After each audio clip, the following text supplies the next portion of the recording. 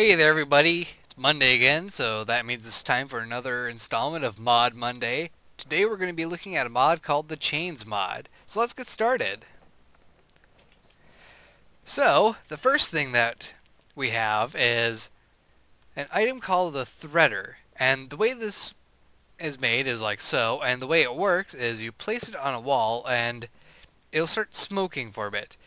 Now, it's currently in a cooldown period. Once it is done with that, it will drop down and look a lot more like a tripwire, like this. Now, the way this works is you can take wool or an iron ingot and right click on it. It'll start clicking and when it is done, you will get four string and it'll enter a cooldown period. So you have to be careful because you might end up placing a block you don't really mean to place. So after that, it goes back into its cooldown period and you get your drop. In this case, I got some string. But when you use it with an iron ingot, you get something slightly different, though it looks pretty similar. It's called iron wire. Now, what iron wire is used for is creating a couple different things. The first thing is a fiber wire, which is string and iron wire combined. Now, this can be used to create better weapons and better range weapons specifically. We'll get to that in a moment though. The other thing iron wire can be used for is to create some iron chain links. Now that lets you finally be able to craft some chain arm chain armor, which is all done the same recipe as normal armor is done. Now, what's the benefit of using chain armor instead of iron? Well, it takes about half as much iron as it does to create uh, chain armor than it does iron armor. Specifically, you can create a full set of chain armor instead of a pair of boots and a chest plate. And I'm not sure about the... I'm not sure about all the numbers for armor, but I do know that if you're in survival, a chest plate and a pair of boots will give you four armor pieces, whereas a full chain will give you six? Is that? Yes, that is six. I'm not wearing my glasses. Leave me alone. anyway. So I think it might be a little bit better than, you know, trying to make a full set of iron not a full set, trying to make half a suit of iron armor. Of course, that is if you are kind of scraping at the bottom of your iron supply. Now, as for the range weapons, you can use fiber wire to create a different kind of bow, a fiber wired bow, which has more durability and does slightly more damage than a regular bow. It will do 2, 4, and 6 hearts worth of damage, depending on how far back you've drawn the bow. And it is, it's able to be enchanted with the same enchantments as the regular bow. Power, Punch, Flame, and Infinity. But this mod also adds a new weapon called the Slingshot. This can be made with normal string, or replace the string with fiber wire to get a fiber wire slingshot. They both use seeds for their projectiles, but you can use other types of projectiles. Now, the basic projectile is going to be regular seeds. However, you can use pumpkin seeds, melon seeds, and cocoa beans in place of regular seeds, and they will do an extra half heart worth of damage. Regular seeds will do one heart worth of damage. So, cocoa beans, pumpkin, and melons will do one and a half. Alternatively, you can use special ammunition. This ammunition is slightly hard to get. You can use spider eyes, um, fire charges, and netherwart. And I don't believe there was anything else. Let me double check. Nope, that was all. So, special ammunition, such as the spider eye, Let's switch over, oops, switch over to easy mode, so mobs will start spawning.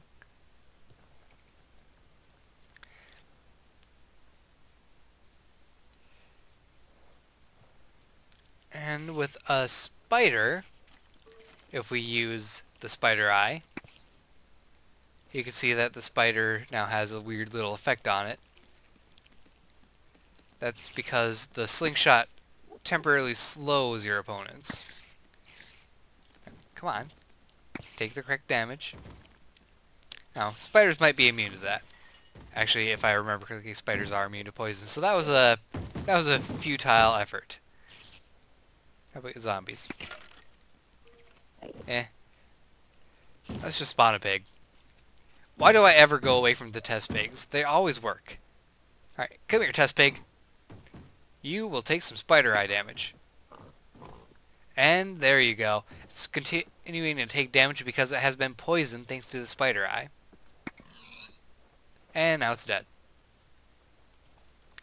Now, if you were to use a fire charge instead, this one I can test on spiders and other creatures.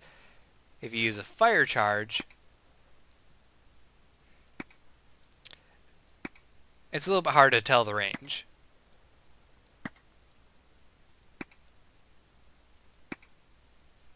And now it's gone. There we go. As you see, the Enderman caught fire and completely spazzed out. As normal people do when they catch fire as well. There we go. A roaring bonfire, thanks to a spider being set on fire with a fire charge. Then there is Netherwart. Now this one is a little bit more interesting, because it will give the wither effect.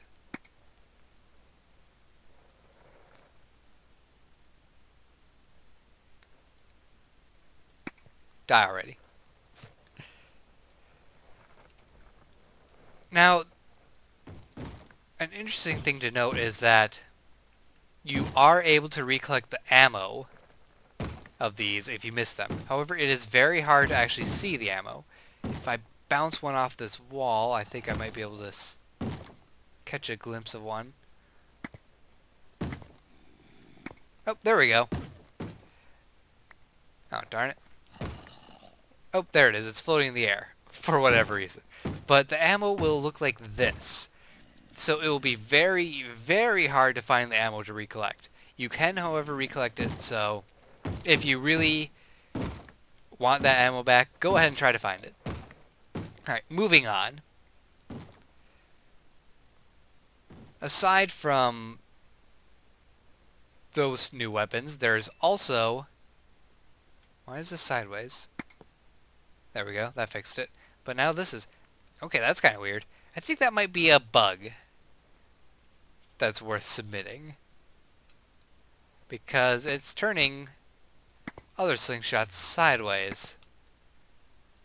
Very peculiar. And it's also doing it to the items in the frames. oh, that is so weird. Oh, and I broke the frame. Alright, let's get rid of these things. So, another item that has been added is the garrote, garrote. I don't know how this is actually pronounced. I've heard it pronounced di many different ways. I've even, I've even heard it pronounced garrote. So, yeah. If you right click with it, it does this. However, in order to actually properly use it, you're going to need to turn invisible. And as you see, I am now invisible. And let's see if I can do this to a slime. Do, do, do. Now, I don't really know how invisibility works in Minecraft.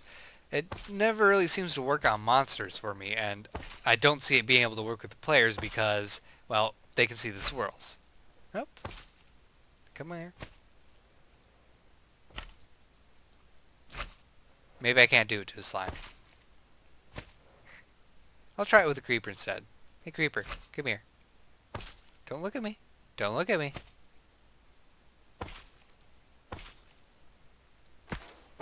And I strangled a creeper to death. but upon strangling a creature, you will regain your visibility. How many people can say they strangle a creeper to death? I can.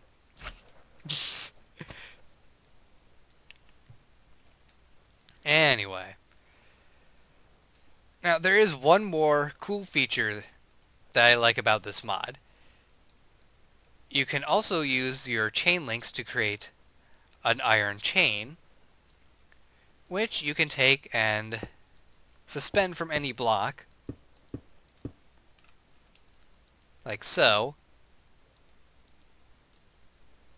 And if you right click on the bottom link in a chain, you will drop it down one more block, so that's pretty neat. But you can climb them, climb up them. Kind of like a vine in a jungle. But the more interesting thing about these chains, other than their decorative and usefulness, is this block. This is an iron chain elevator block. It is created with a couple pistons and various bits of metal and redstone magic. And with that you can create an elevator. Now in order to create an elevator you have to have a block that the iron chain is suspending from, a platform which has to be all the same material, although you can place different blocks on top of the platform and it will move those blocks up and down as well. You need a lever to tell it whether it's going to be going up or down. And underneath you need a chain and a block telling it where to stop.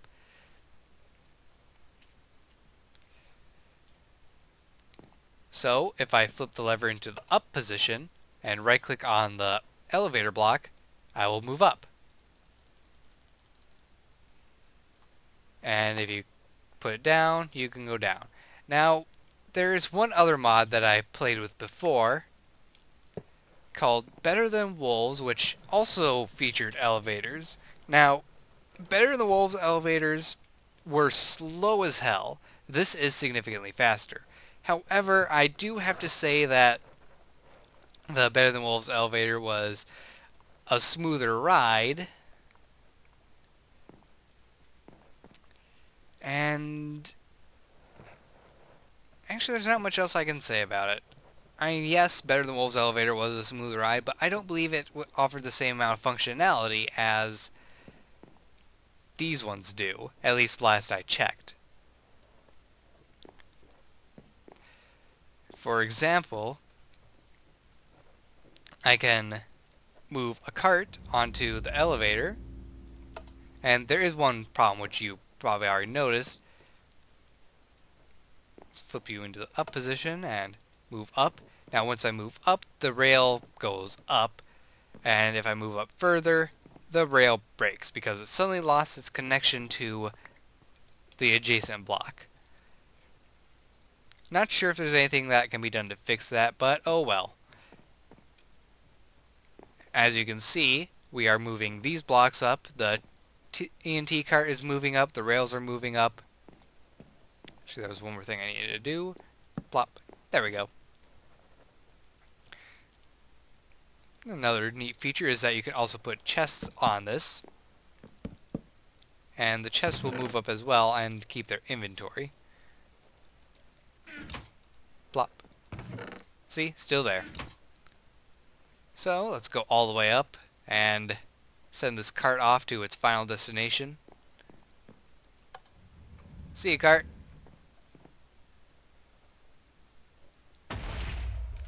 That was fun. But yes, that is pretty much the end of this mod spotlight. I do I do love the elevators. I wish that they were a little bit smoother, but hey, I can settle for this. It is pretty fast. All you have to do is hold right click and you go up and down a lot faster than climbing a ladder.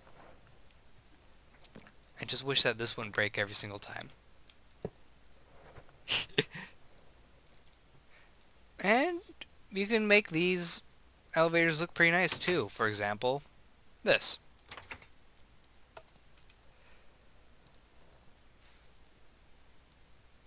Very nice looking, although I did kind of make it go a little bit too high. Oh well, my mistake. Hope you guys enjoy this spotlight, As always, the link to the mod is going to be in the description, so if you want to check it out yourself, go ahead and click that link. If you like this video or any of my series, go ahead and click the like button. And don't forget to subscribe and fave. I will see you next time. Take care and goodbye.